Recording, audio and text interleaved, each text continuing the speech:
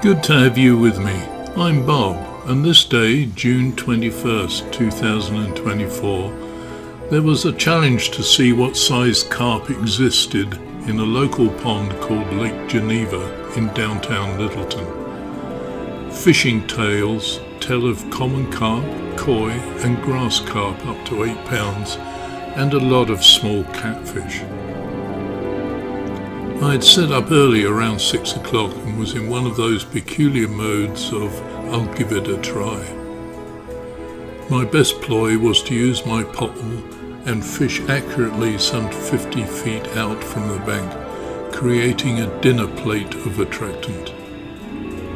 It was not too long before the catfish turned up, but at least the dinner plate idea was working. It was nearly two hours later that I had a common carp on. A good start.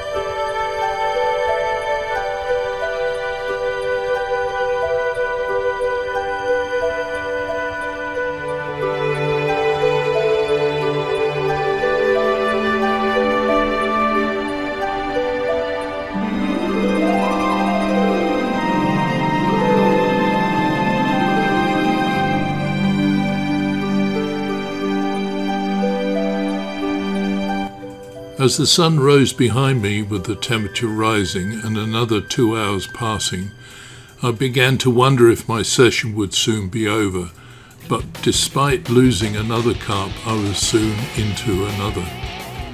Epic.